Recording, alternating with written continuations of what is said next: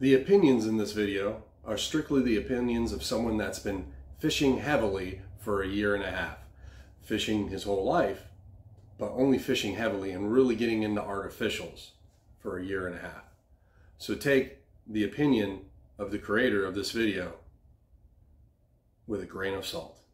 Also, remember that the creator of this video is clearly biased of the color green. Thank you. Cue my music.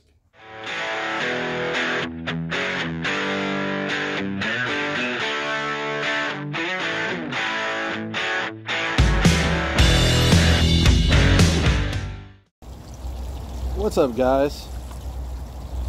A little bit different of a video, but I did a video a couple months back uh, about the Googan Squad finesse rod.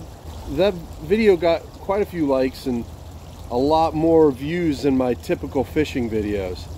So I figured I'm gonna try to do something a little bit similar to that. what we're gonna talk about today is square bill crankbaits. We're talking specifically the Googan Squad banger, okay? And I have a couple different colors.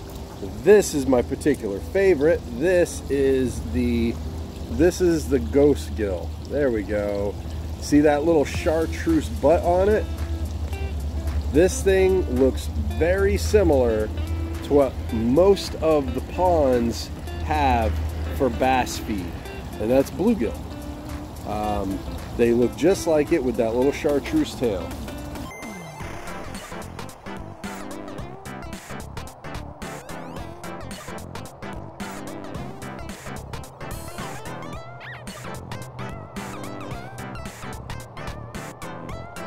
At that. Even the pumpkin seeds want the ghost gill.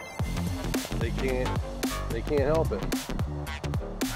Beautiful little I think this is a pumpkin seed uh, sunfish. But you know, it's a bluegill. But you can see how their tail has that chartreuse on it. Also, we have a crawl looking one. Some of these I can't remember their colors.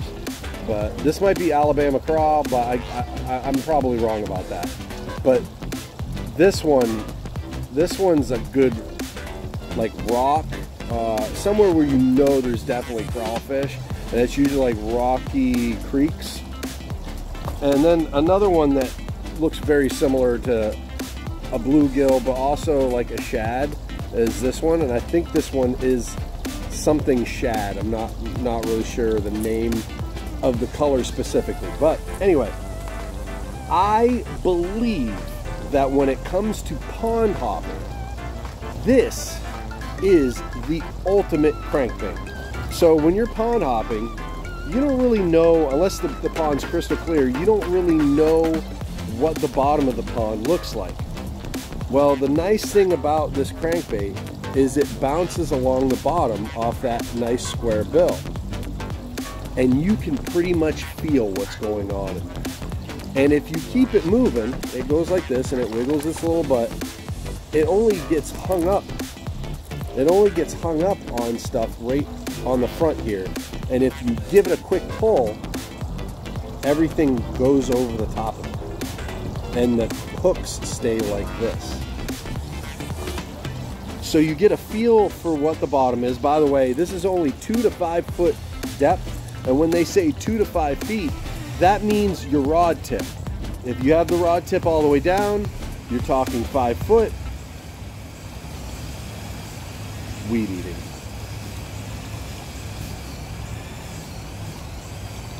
Nice. Anyways, if you have your rod tip down, this will go down to at least five feet. And if you have your rod tip up, it'll only be two feet. Sometimes, if I know there's a lot of grass, I'll point my rod tip way high and this sucker will almost stay on the top. That's what's so nice about a square bill crankbait. Please don't. Oh. Thank you, sweet pea. Thank you. I needed you. Whoa, you got hooked crazy.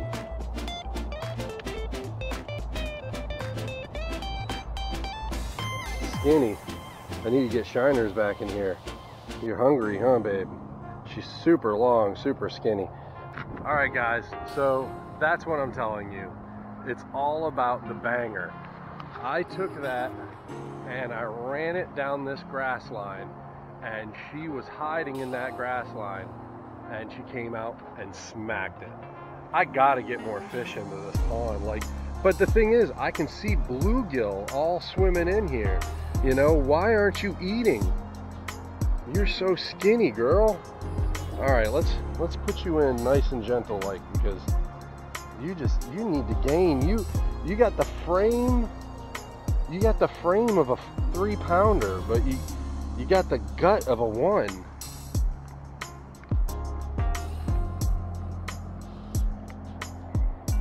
There you go.